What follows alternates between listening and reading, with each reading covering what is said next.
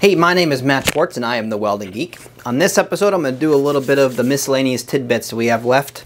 Um, how to mount my codpiece in my knees. And then I'm going to go ahead and show a little bit on how I made this ghillie cape. So, you want to watch that? Stay tuned to the video.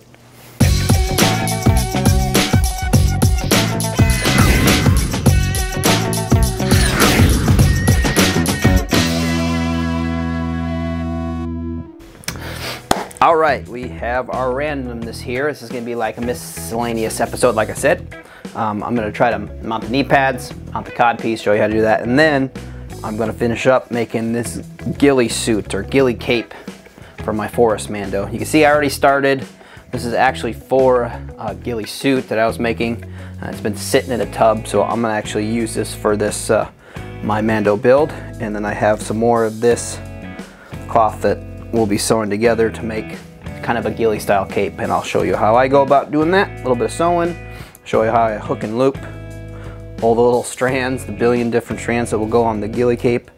Um, and just simply mounting knee pads and mounting the cod piece.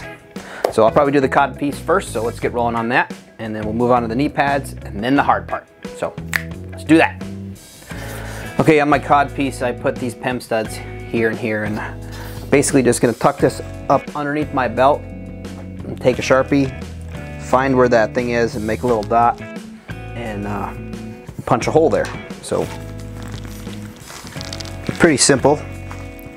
Just gonna position this where it needs to be. I want this lined up down the center and hitting me where it needs to hit me. Does that look all right, Jake? Center dish. Okay.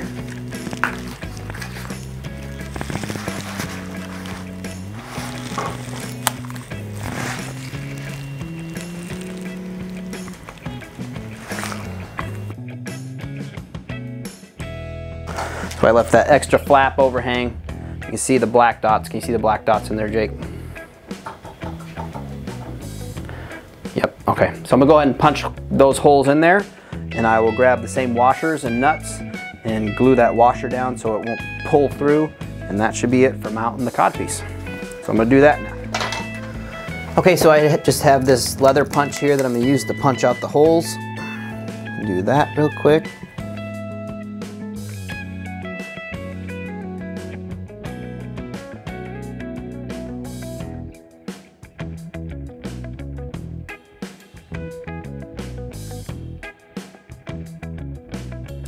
All the way down. And that should be it for mounting the cod piece. Nice and simple. I'm gonna set this I'm gonna set this aside here to let it dry because this cloth is kind of spongy. I really want that glue to adhere before I start messing around with it too bad. So let's do the knees. Okay, the first thing I want to do here with their knee pads. They'll be going like this. So I have some elastic here. And I'm actually just gonna, I'm not gonna sew this elastic. I'm gonna punch a hole in it, punch a couple holes in it and just bolt it down like so. And this is gonna be on the inside of the pants so you don't see the strapping. So I just need to get my length, which I'm just gonna wrap it around my knee.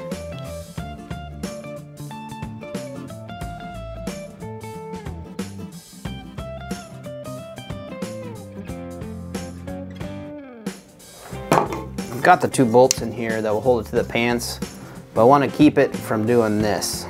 So when you put elastic on it, it just draws it up against your leg nice and tight. Keeps it where it needs to be instead of flopping around. So that's why I'm putting elastic on the backside. Next thing we need to do before we bolt all this on is mark out the where the locations, the whole location will go in the pants and we'll put those in there. So I'm gonna do that real quick. All right, for how I mount my knee pads, with my PEM studs, same deal, is I'm gonna take a Sharpie and the pad, I'm gonna put it where I want it,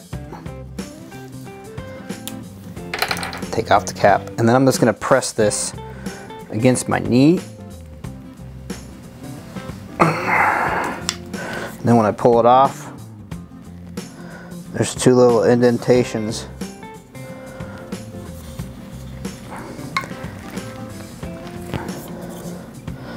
about where they should be. And that's it.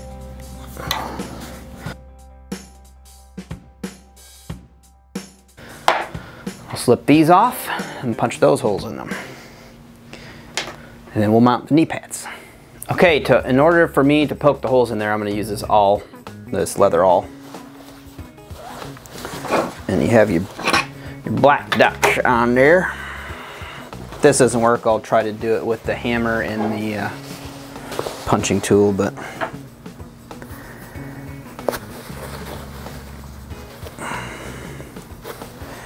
just poke it all the way through. Don't jab your hand. That will suck.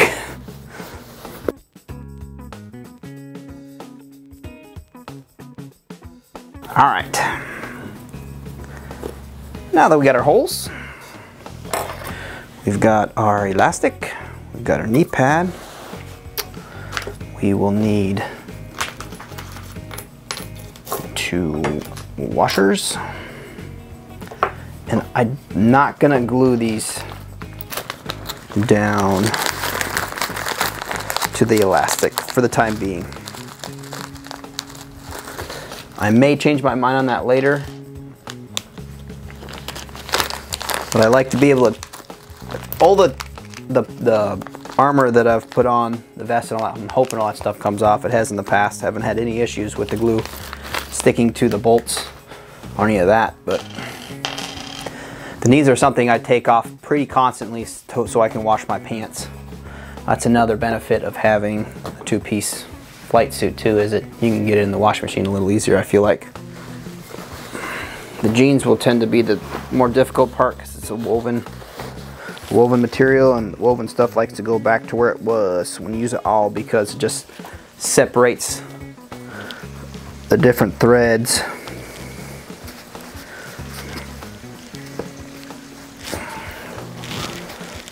instead of putting an actual hole in there but it makes it so it doesn't rip, rip as easy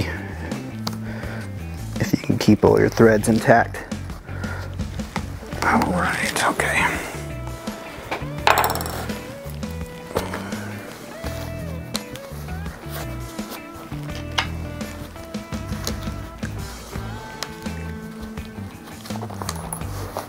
Whoopsie.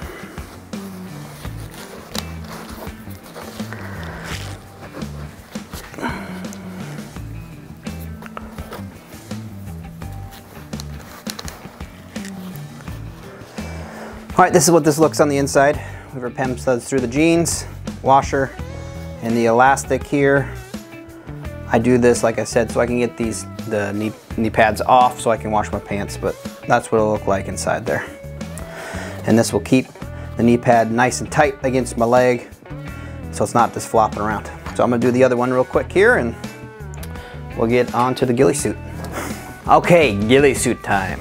This, I'm gonna be winging this, so I'll just kind of try to explain what I'm doing as I'm going. Um, like I said, I already have this awesome hood made, so I'm going to use this.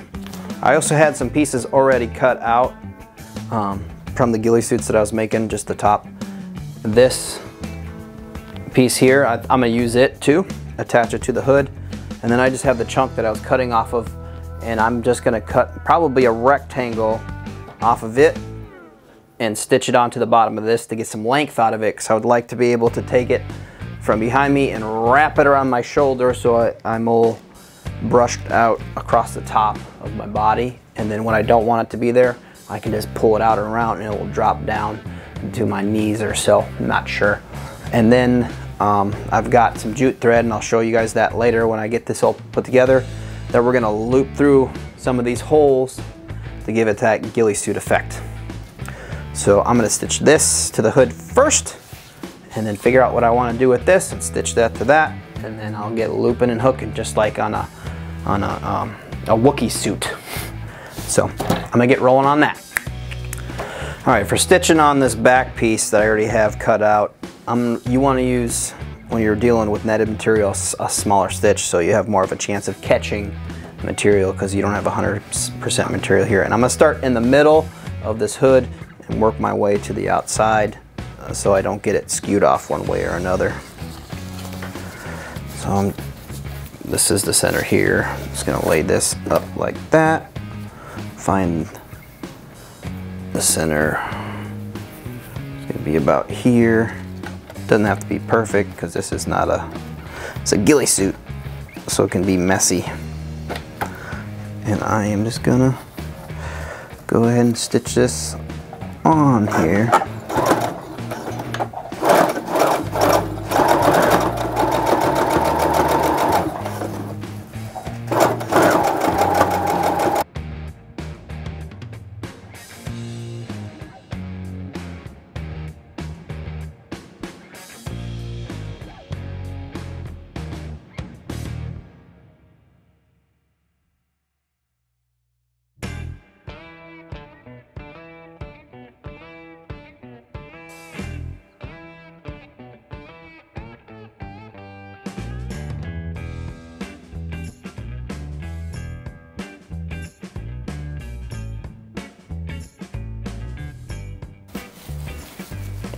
Yeah, I'll go on like such.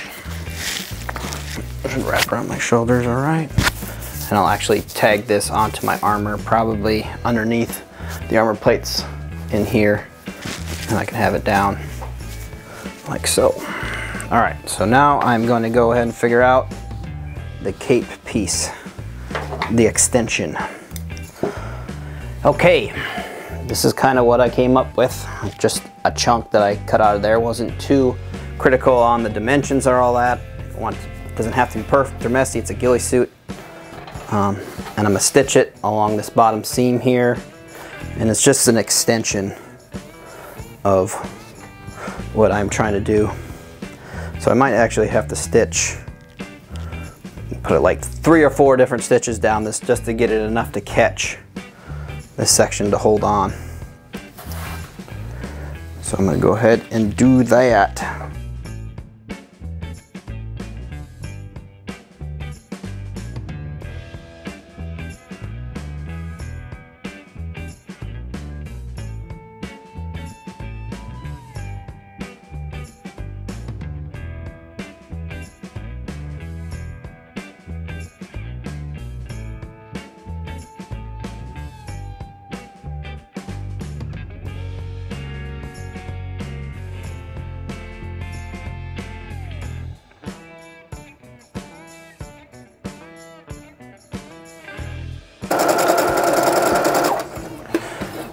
That should be good enough to hold that in place. The first stitch actually held pretty well. So I'm gonna get my jute thread out and I will show you how I go and hook and loop all that stuff and then I'll continue on.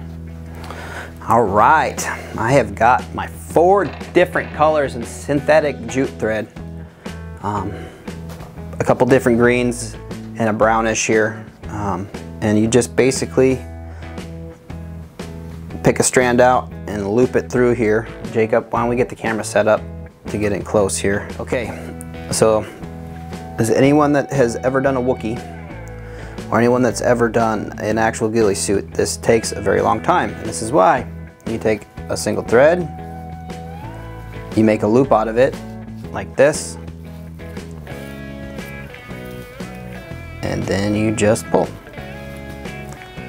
And that's it grab a different color. I'm actually probably not gonna do this one super thick because wearing this at a con, having all this extra weight, it'll be super hot. So I'll probably just do enough to get the point across. To have it look like a ghillie suit. Now, Jake, can you see this? The little holes. These will be a little bit of a pain in the butt. Might actually have to get a sewing needle to do this one.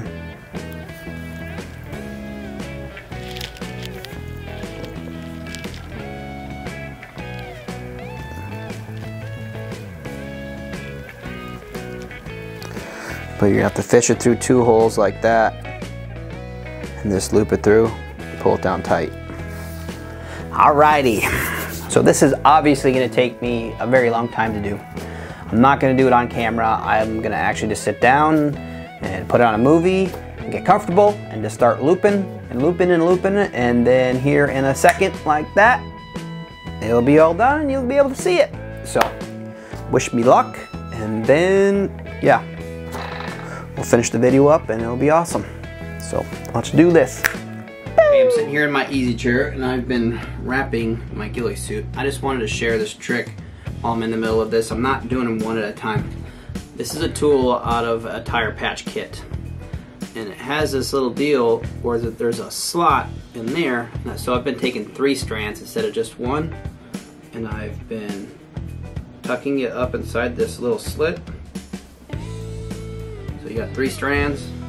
And then you just come over here like so, weave it through two holes, pull it through, and then loop it like that and then pull. So I've been doing three. So I've been getting a lot more coverage than just with one strand. And this is that tool. It says Cooper Tools on it. I think it's out of a tire patch kit. So, yep, I'm gonna keep on going. Still have this amount to go and then I'll probably do some infill as well. So that's it on that.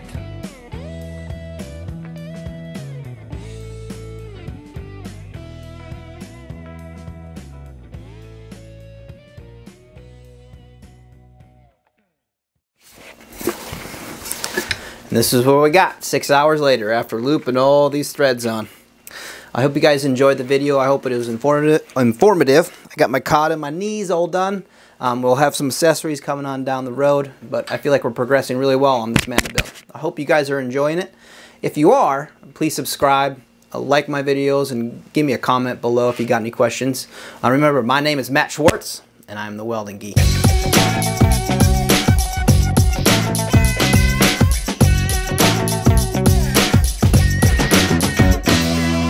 See you guys next time on The Welding